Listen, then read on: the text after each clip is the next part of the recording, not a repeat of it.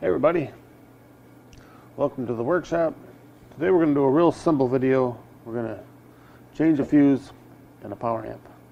This is a late 80s PV power amp, 150 watts, kind of an old school thing. Um, so I'm going to show you how to change the fuse in there, and make sure you get the right one in there. Real simple, quick little video.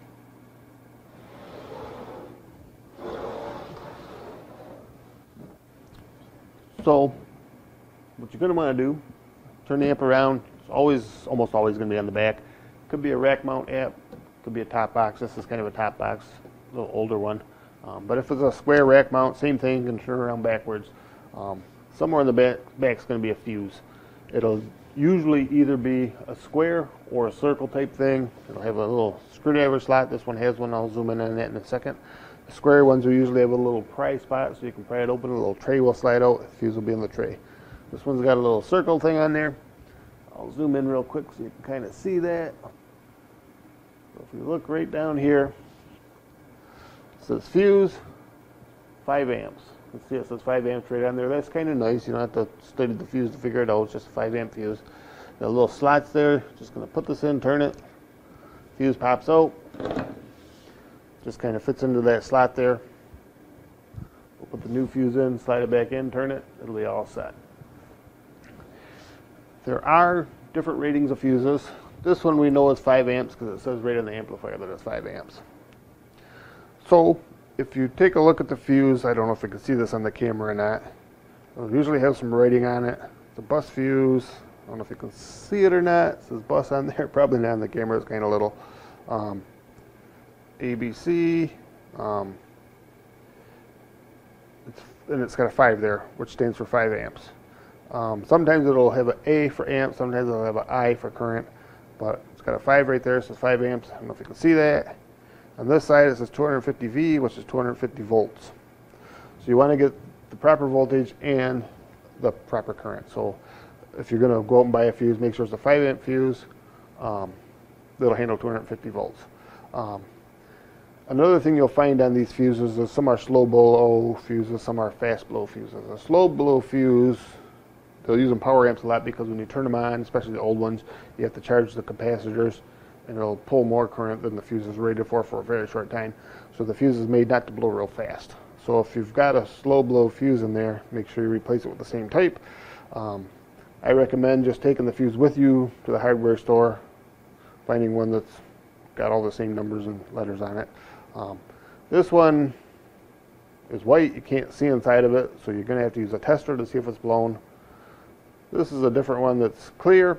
If you take a real close look at that, you can see there's a little filament in there. When the fuse blows, that'll melt and it'll be broken. Or the fuse will kind of turn black when it blows. So if you take the fuse out and you see that that's melted in half or it's burned looking inside, then probably it's bad. This one you can't tell, you're going to have to test it. If you have a multimeter or ohm meter, you can test it with that. I like to use this because it's super straightforward and simple just a battery and a light bulb inside there. If the fuse is good, it'll make contact. The light will come on. If it's not good, you connect both sides of the fuse, there'll be no contact, the light won't come on. I know this fuse is good because the amplifier still works. Um, so if I put one end of this test light to one side of the fuse, the other end to the other side, the light will come on, which means the fuse is still good. Um, so if your amplifier is not coming on, the fuse is still good, you got another problem. Um, if you connect this and the light does not come on, then the fuse is bad, you need to replace it. Generally what will happen if your amplifier blows a fuse, if you turn it on and it shuts off right away, after you turn it on, a lot of times that's a blown fuse, it's just blew. Sometimes it'll be a fluke. I would recommend checking the fuse, replace the fuse, um, turn it back on, see what happens. If it blows again and you're using the proper fuse, then you probably got a major problem. I would probably change it one more time just because, but um, if it keeps blowing, then something else is wrong. Um, or if you're playing music and it's turned up really loud and the fuse just blows by chance, the amplifier just shuts off, check the fuse. That's the first thing you're going to want to check if your amplifier stops working. Um, some amplifiers will have a circuit breaker, again, usually on the back. Usually will look similar to the little, the little fuse thing I showed you here on the amplifier. Um, but it's usually like a push button. So you would just push the button in on it, it would reset the breaker. Um, amplifiers also have what's called a thermocouple. If that blows, the amplifier shuts off. It tends to blow when the amplifier gets too hot, and it usually will come back on when the amplifier cools off. Sometimes it don't. You have to send it in to get a new thermocouple put in.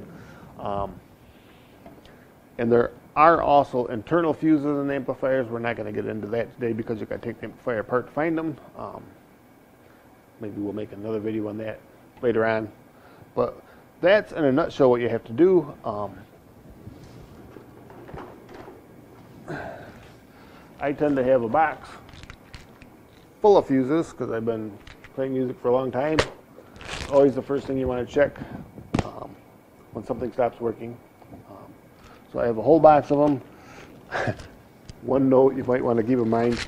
Um, I got all my fuses in here. I used to have them labeled what they were, especially the fast and slow blowing fuses because sometimes they can be kind of hard to tell.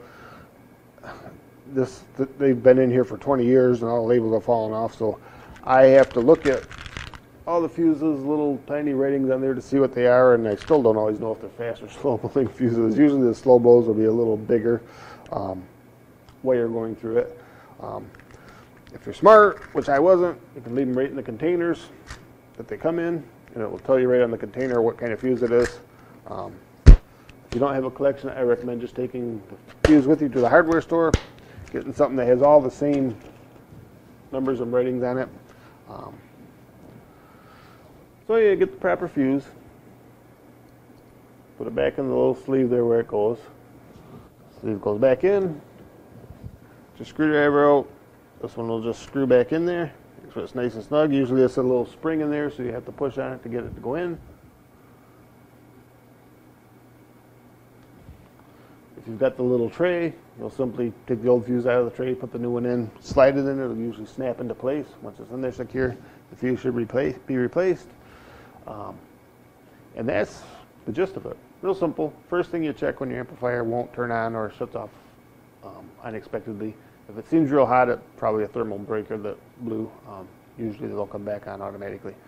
So hopefully this video was helpful. Hit subscribe at the bottom of your screen down there. Got a lot more stuff on my channel for you to look at. Um, some repair stuff, some funny stuff, some whatever random things. Um, hit subscribe down there. We'll see you next time on the workshop.